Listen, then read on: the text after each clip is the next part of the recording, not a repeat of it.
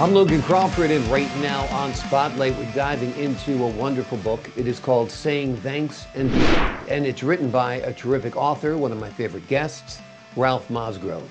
This insightful book explores two simple words thank you, and how they can go even further to impact someone's life in a powerful way.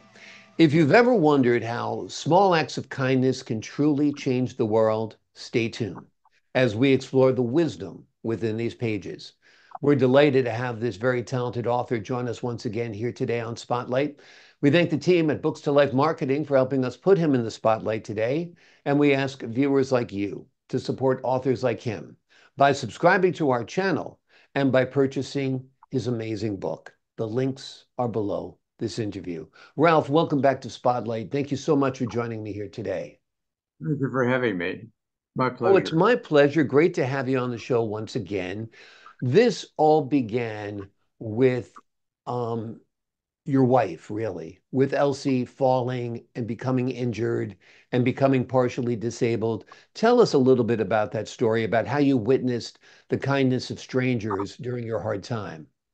Yes, uh, she would often approach a building and go for, for the door to be opened, and I was with her and I was ready to open the door, but people would step up out of the community right where we were.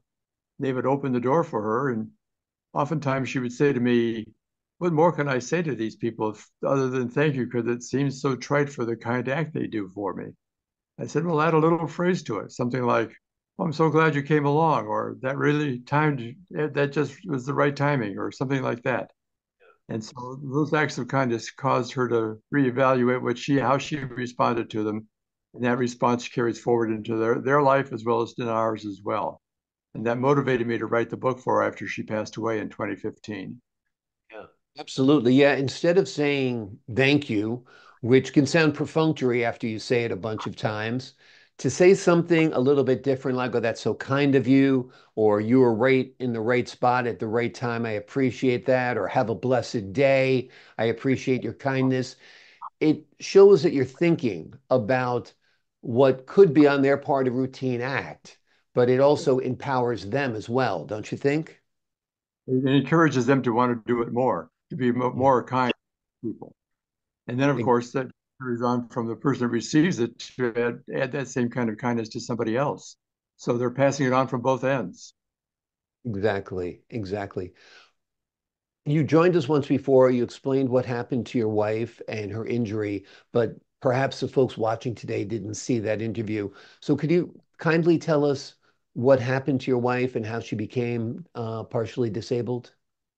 She was uh, working as a receptionist for an assisted living facility, and she went to answer a telephone in another office. And as she turned to go to that phone, she stumbled and fell and broke her hap, hip, right hip, and crushed two vertebrae in her back.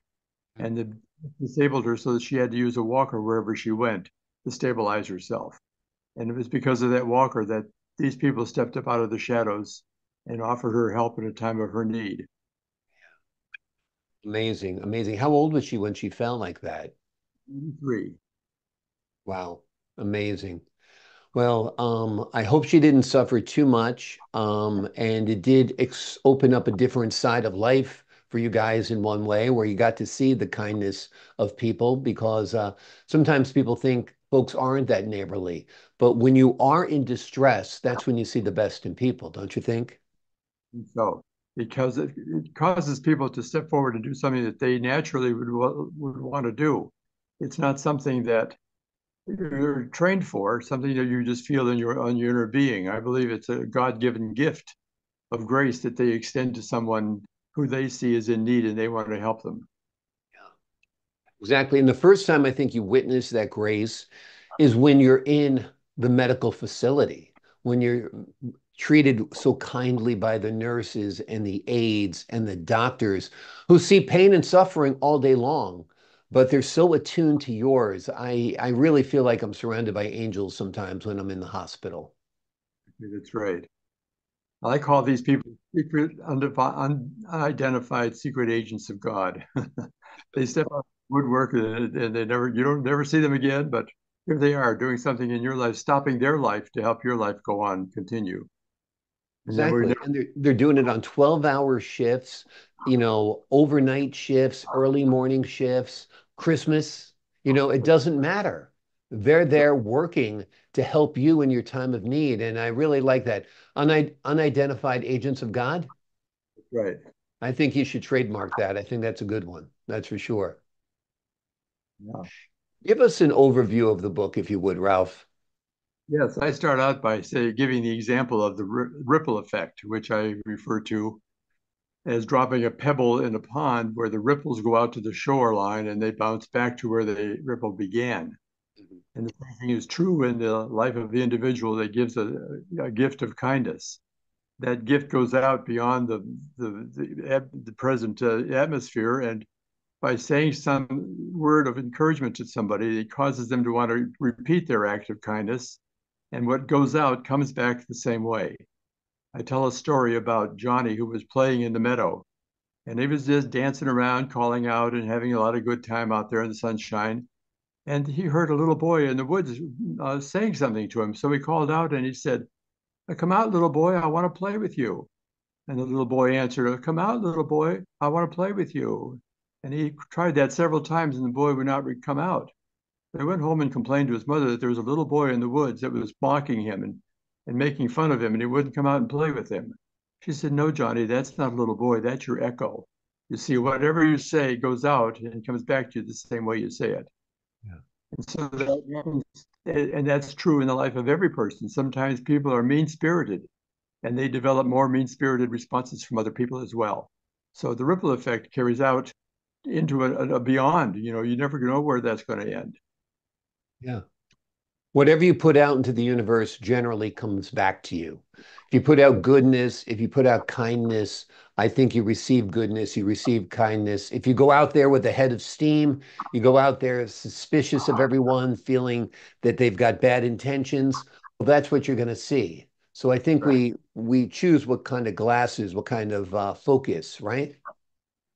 I give illustrations in the book about how these uh, attitudes change the lives of people. Uh, there's a, a, part of the book that talks about the uh, manager of a large business who was having a chauffeur drive him around. And the car, the chauffeur seemed to be having a lot of trouble with the car, and the driver just was unhappy with him. Um, the owner was. And uh, he said to his wife, I'm just going to have to let that guy go. I just can't see him driving me around. He's very reckless on the road and she said, Well, why don't you give him another chance? She said, Do something for him to make him more comfortable. Well, he thought about that and he went out and bought a new car for this driver. And the driver drove a lot better because he had something more comfortable for him to drive and he felt like he was being respected by his uh, owner. And as a result of that, they became fast friends. And the owner realized that he had been too harsh on the individual. And when he showed a better attitude toward him, and provided a better car for him, they had a better result. Yeah, exactly, exactly. Showing people respect, showing that you value their work, that you value their contributions, that you value them as a person right. is in, is invaluable. I mean, as far as getting a positive response out of people. And it's not manipulative either. If you're truly showing kindness, that's when people appreciate it. If you're just giving lip service, I think people can read through that as well, don't you think? It's important to speak up because when you do, you say things to people that encourage them. And as you encourage them, they become encouraged to go out and do it again and also pass that on to the next person. And that that that, that just sort of develops an attitude of lifestyle of saying thanks and beyond, going out beyond doing more than just the, the two words of saying thanks. And so by speaking up, you've encouraged that person to do it again and again. Absolutely. Absolutely. You're reinforcing the positive behavior without a doubt. So tell us a little bit more about what's in the book. You have the story about the echo, you have the story about the chauffeur. Tell us a little bit more of what we'll find within the pages of this book. Well, I have different stories, different examples that I use. Like, uh, for example, I've, I've, observed a woman who was in a wheelchair and she was trying to get her grocery shopping done in a, one of these automated carts. And uh, as she was looking on the shelf trying to determine what she wanted, there was a young couple that came along and they just reached over her and grabbed what they wanted and kept on going. Never said, "Excuse me," never offered any help. Can I help you find something? Or what, what, what are you looking for?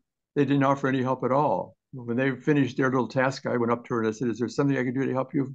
Can I help you find something on the shelf? She said, Yes, I'd like that, that bottle up there on the top shelf. I can't reach it. So those are the kinds of examples that I see happening all the time. People don't take time to respect other people. They, they want to get their own way first and they seek after their own their own ideas and their own attitudes. But the, if they'll take a moment to say, "Excuse me, uh, can I help you for something, uh, or is there something I can get for you?"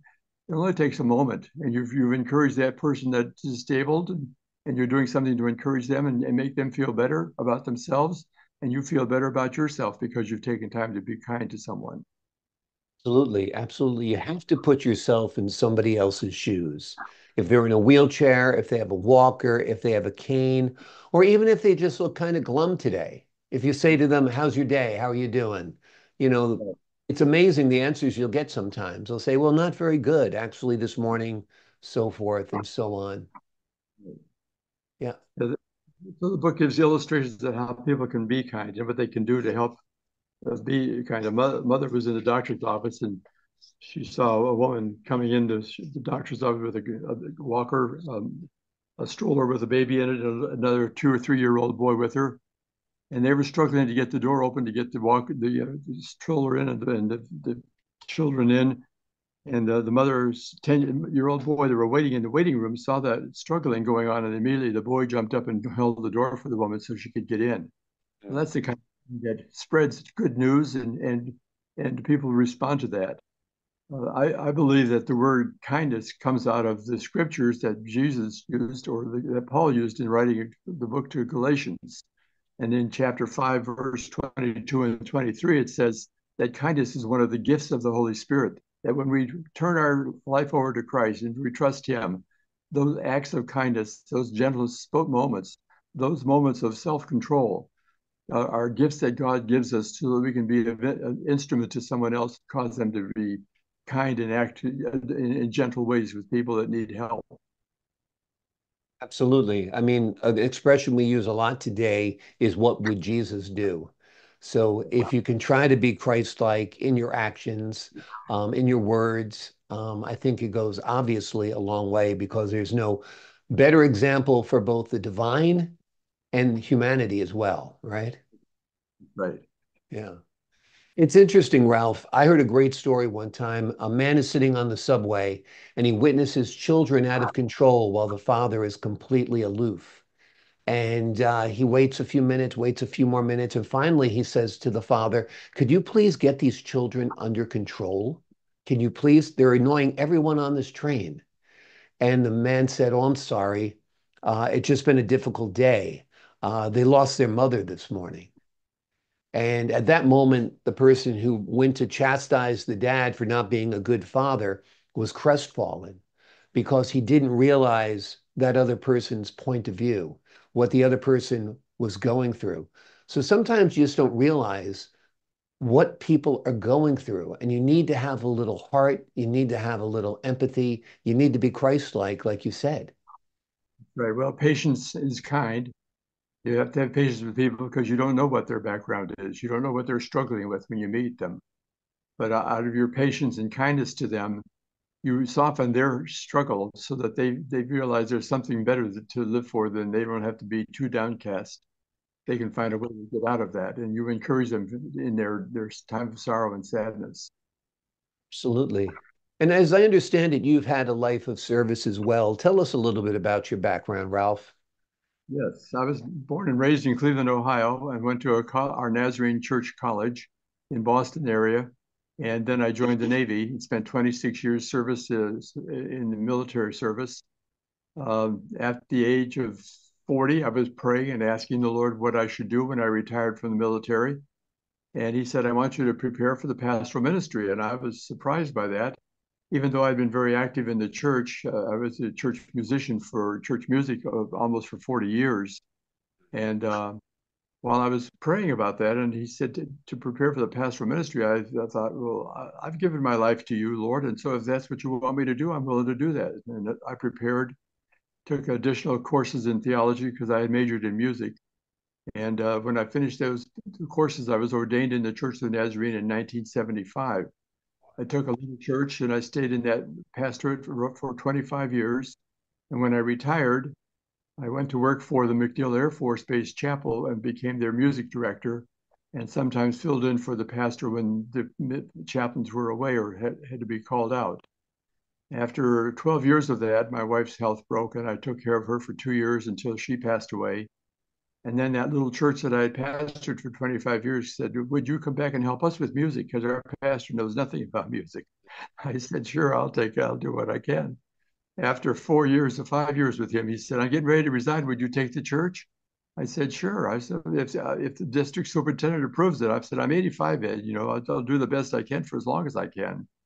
Well, I just celebrated my 90th birthday last July of 24. And uh, I re- resigned the church after five years of pastoring it again all around. And so here I am. I'm still busy working with the Salvation Army on Sunday mornings in their worship service. I play the organ I have our own church worship service that now has a different pastor, and I support her with music. Uh, and uh, that's at two o'clock on Sunday afternoons. And then I play for a retirement community in the evenings in their Vesper service for the uh, residents in the community. So I have a busy Sunday, and then all week long I'm finding ways to help other people do kind acts of kindness. wonderful, wonderful. That's an amazing career from being in the armed services to working in the ministry to basically being, you know, a volunteer in the ministry as well, and then becoming a pastor again at 85. That's really quite amazing. I did that for five years until I turned my 90th birthday. And I decided it was time to give it up and take a little rest. well, I don't think you're resting because you're busy now writing books and spreading the word of the Lord that way, which I think is important as well. Um, what was it like going back to the ministry uh, and giving um, sermons again on Sunday and being connected with the congregation once again like that? Well, it was an opportunity for me to show the kinds of lifestyle that I want other people to live.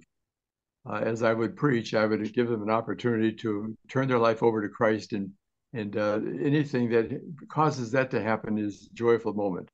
In my writing I attended through uh, Osher with the University of South Florida, um, I was uh, asked to uh, take an assignment of writing something on the word joy. The whole class had that opportunity, and so different people come up with different ideas. But I concluded my poem that I wrote uh, about joy that the thing that gives me the most joy is knowing that I've helped someone else find the Lord in their life, and that's that's the way I feel in all of my attitudes toward my ministry. Uh, my goal is to bring Christ into their life and have them change their life. Mm. And I result many times over and over. Amazing, amazing. Tell us a little bit about the church. What was the name of the church? Where was it located? Tell us about the congregation. Yes, it is a small church in the city of St. Petersburg, Florida. It's called the Lealman Church of the Nazarene named after Mr. Lealman, who developed that neighborhood back in the 50s. And First Church of the Nazarene in the center of St. Petersburg City saw a need to add a, a, develop a church in that new community. So they had five families that went out and began to build the church and build the community and bring people into the church. And they had a history of uh, over 20 years before I came to them. And most of the pastors were there for very short terms. Mm. And I being military and had an income from my retirement, told the church that they would not need to pay me anything as long as they carried themselves and paid their bills and, and responded to their uh, responsibilities to the district church, larger church, and general church, which is uh, headquartered in Lenexa, Texas, our general headquarters. And um, as a result of that, uh, I, I had over 2,500 people come through the doors of our little church in the 25 years that I was there. It still remains a small church. I had an average attendance of 83 for uh, two years in a row. And church plantings uh, rules say that you can you cannot retain more than 80% of your seating capacity. And it's because the church is small, we had a larger in, in ministry outside the walls of the church. And today we do the same thing. We offer, I have a, the pastor of the church that is there now is a licensed clinical social worker, has a master's degree in social work, and is working on her doctorate in theology. She's uh, uh, preparing herself for the leadership of the church and be ready to be ordained, hopefully by another year from now when she finishes her studies. And uh, as a result, we have people that come to us out of homelessness, out of a, a need for getting their ID cards established or a place to live, get off the streets. I have literally taken six families and purchased their mobile home for them, and they paid me back out of their income, of their disability income. They were able to maintain their rent and pay me back. I never lost a penny in the investment that I made. I never charged them an interest on it. They simply paid back what I gave them. They have lived. they're living those uh, mobile homes today, and they are a part of the church. But we have an impact in the neighborhood that takes our message beyond the walls of our church so we have an average attendance of anywhere from 15 to 20 people on Sundays, but we do a ministry to over 100 people throughout the week. Yeah. I think that's wonderful. I think it's, you know, there's nothing more valuable, I think, than helping people put a roof over their heads, because that's the foundation of life, basically. You need a roof over your head, and then you can have a, a sustained marriage, you can have a family, uh, you can have all the things that people want out of this life. So that was truly kind of you out of your own funds to help people um, purchase those homes. Well, Elsie left an estate. I mean, there were funds that were extra money that I could use, and I used that to help other people get on their feet. And as a result of that, they it changed their life completely. Amazing, amazing. It's beautiful work, Ralph. So thank you for that. Uh, tell us what you do now with the um, Salvation Army. I'm the organist for their morning worship service, and mm. then I participate in their Bible studies and uh, their different programs at the church, support the pastors that are there, uh, and, and help people that need to help along with Salvation Army's uh, social service departments. I have a, a, a, disabled veteran that I work with. It's a Salvation Army soldier, and he's very uh, needy and has a lot of uh, needs in his life. And so I've taken him under my wing and I've become his power of attorney to help him be able to live in an assisted living facility and uh, to help him with his finances and work with him so that he has a better life. Amazing. You know what? All many people know about the Salvation Army are those sidewalk Santas at Christmas time. Tell us a little bit more about what the Salvation Army does to help people in their lives. Well, they, they have a food bank for one thing, and people that are hungry and need need food items can go to the Salvation Army and pick up food for their needs. Uh, there are many different organizations in the city of St. Petersburg that do the same thing, but people are drawn to certain areas and certain places where they are are welcomed, and uh, the Salvation Army doesn't require anything in return. Uh, they accept them for whoever they are without any judgment or measurement of what they are all about what their background is. And so as a result of that openness, they have a lot of people that come and seeking out and, and different social service needs. Uh, sometimes they need uh, a bus pass or, or some uh, reason to have to have some financial help to pay off loans come in. And so those those areas of the Salvation Army are helpful. Then when there's a disaster time of like we've had in our hurricanes these the last few months, uh, Salvation Army takes a service truck out into that community and serves hot meals to people that are in need, offers water and encouragement and prayer for them in that time. And so they have a, they have a great ministry that's worldwide, and uh, I'm just part of a little cog in the spot in a big wheel. Yeah. Well, you're doing your part being that cog in the big wheel by uh, playing music, which I think is certainly um, inspiring and a connection to God. There's something about going into a church and hearing the organ that makes you feel like you're in a sacred place, right?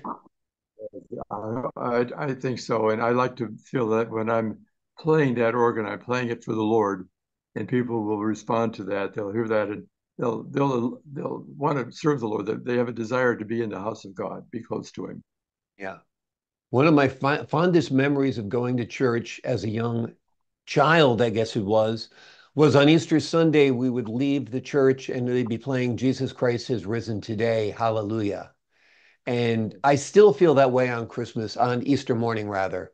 Uh, Jesus Christ is risen today. Hallelujah. Um, it really just music is part of worship and it's an integral part of it. Right. Yeah, Yeah. it is.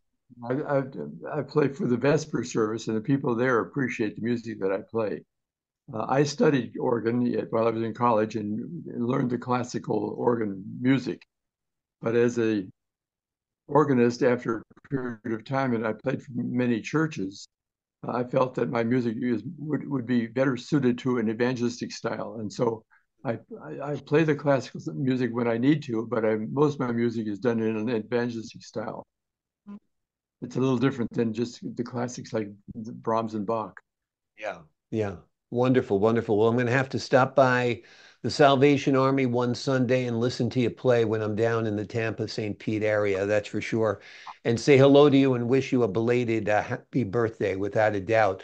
Before we go, let's talk about your years. You were in the Navy, correct? Tell us about your years in the Navy and how that helped form the person you are today. Well, I, when I joined the Navy, I felt it was a um, reason to serve Christ through the Navy and to help men, men and women who uh, were living for the Lord when they were home under the influence of their parents. But when they got away in independent living and they were doing their own thing, they often drifted away from the Lord. And my, I felt I was a missionary to servicemen and women, and I would help help them. I went into personnel work. I became the chaplain's assistant to, when I was aboard ship. It was enlisted uh, status, and I stayed with that for uh, uh, 12, 13 years. And my son was born in Nor- Newport News, uh, Norfolk area, and he had a lot of allergies as a child, was very low in the gamma globulin and had a lot of infections. And so we had a lot of medical problems with him. Hmm. And then they transferred me to Arizona for a special armed forces project with all military services working together. And out of that, I decided to get out of the Navy and stay there because his health changed completely when we got into the dry climate.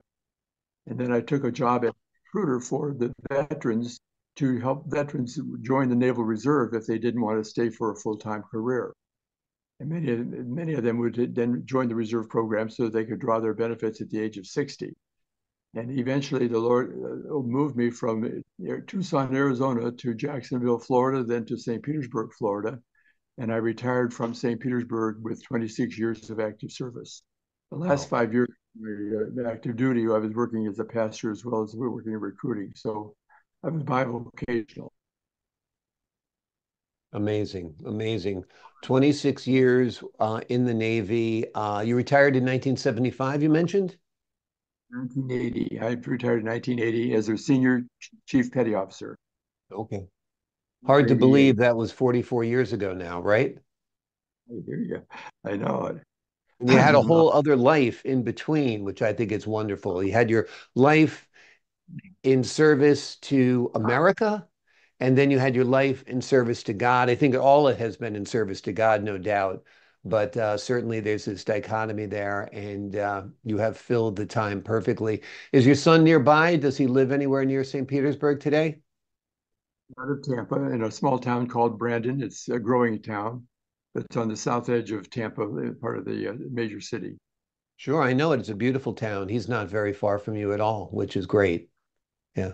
I stayed with him during the hurricane, so my house would not. I would not be here in my house by myself.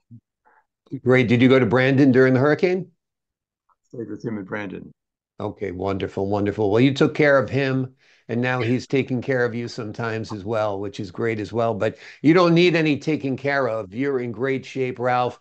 I look forward to celebrating your 100th birthday with you in the next decade. And I'm sure you're going to accomplish a lot over those 10 years um, because you've accomplished a lot in your 90 years so far, 90 years young. The name of the book we've been talking about today is Saying Thanks and Beyond. It's written by Ralph Mosgrove. It is an insightful book that explores how two simple words, thank you, can go even further to impact someone's life in a powerful way. If you've ever wondered how small acts of kindness can truly change the world, stay tuned as we explore the wisdom within these pages. And we have done so today with the author himself, Ralph Mosgrove. Ralph, thank you so much for joining me here today on Spotlight.